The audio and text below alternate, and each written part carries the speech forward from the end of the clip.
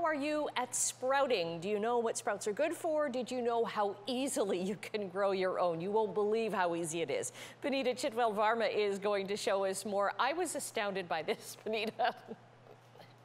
I know totally. Every time I talk about sprouting lentils, people are amazed by how easy it is. And it totally is. I mean, we know lentils are so good for us, right? But when you sprout them, sprout the whole lentils, you're actually uh, uh, tripling the nutritional benefits and also making them more delicious and easier to digest. So perfect, right? Okay, and, and for me, and, and I should have known better growing up on a farm, I always thought that bean sprouts were just something you bought at the store. I didn't realize that you could grow your own, but they're actually grown from beans, dried beans, or from lentils.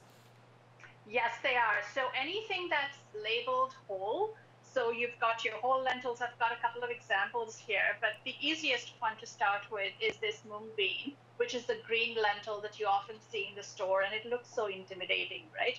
But if we if we buy something that has the word whole on it, so whole beans, whole lentils, you can sprout them because remember they're all seeds and they need a little bit of activation, which is what you see there. So you'd buy these in the dried form and you can hear the clinking. That's how dry they are. They've been sitting in a shelf in a bag for years, and that's how long lentils last in their dried form.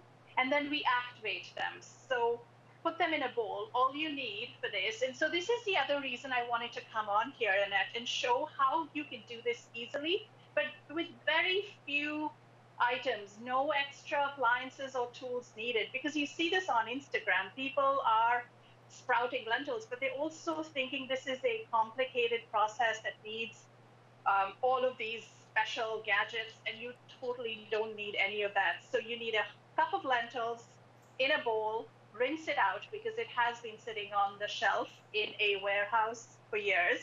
And then rinse it out a couple of times. I have a magic number of three, and I rinse out things three times. And then soak them in water with maybe a couple of inches to spare on top. And so you'll see this.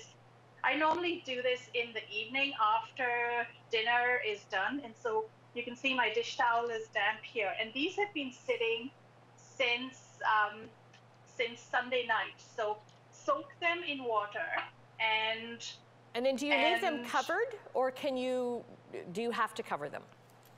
So I cover them in water. So cover them in a couple of inches of water and then I put them in the corner of the counter behind me and I leave them for about 12 hours or okay. overnight. But and after then you the put, next morning.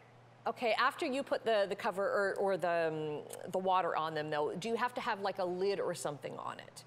Yes, so I use a clean dish towel. I am living in between cardboard boxes yeah. right now, in between homes. And so a dish towel and a bowl is all you need because you do need to cover it. Because the two things that you need for the lentils to actually germinate is, um, well, it's a bowl and, well, it's uh, air and water. And so in the bowl, you put it in the bowl and then cover it with a clean dish towel so the air keeps circulating.